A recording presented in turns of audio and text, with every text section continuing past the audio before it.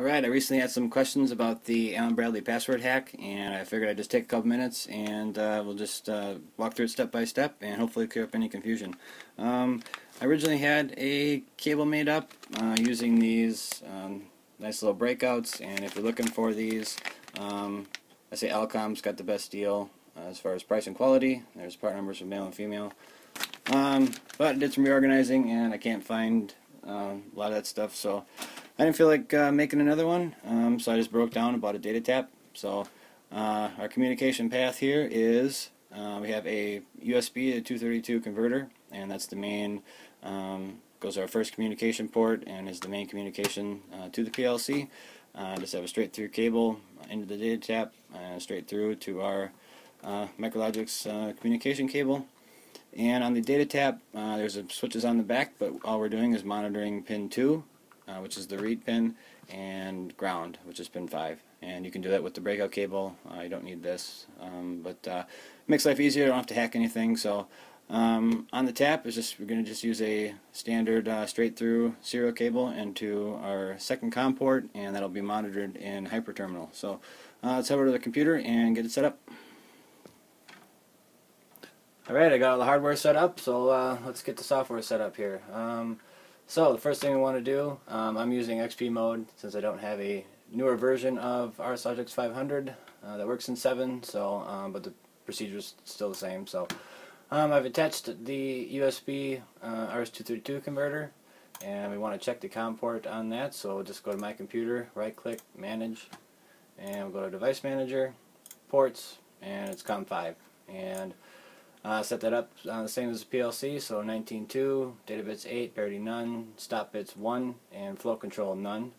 And our data tapped uh, stream uh, is going to be COM port 1. Uh, it's actually a physical serial port on uh, the PC here, and that's going to be set up exactly the same. So we got that set up. I have RS Link set up, COM port 5, 19.2, all that jazz, so that's good to go. Uh, so before we want to go online, uh, I did put a password in here, uh, 1 through 9. And um, we want to open up a new connection in HyperTerminal. So new connection, and we'll call it micro. And it's COM port 1.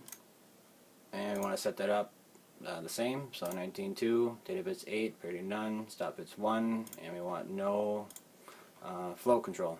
So I'll open up the port here, um, not sure why it's still communicating. I didn't do that before. Um, I'm not sure what's going on, but whatever, it's fine.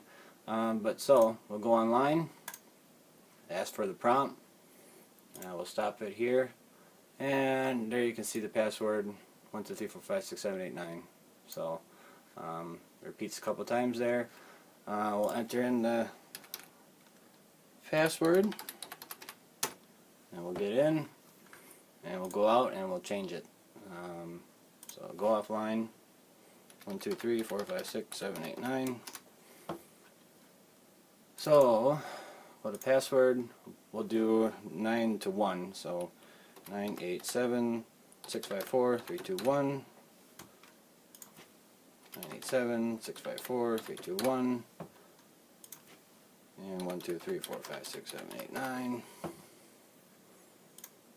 good and we'll download that.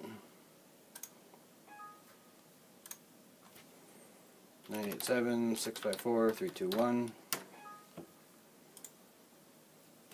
oh, 1, 2, 3, 4, 5, 6, 7, 8, 9 uh, I gotta enter in the original password yet.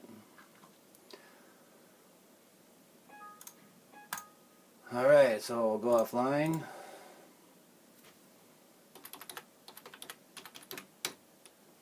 Alright, now should be ready to go again.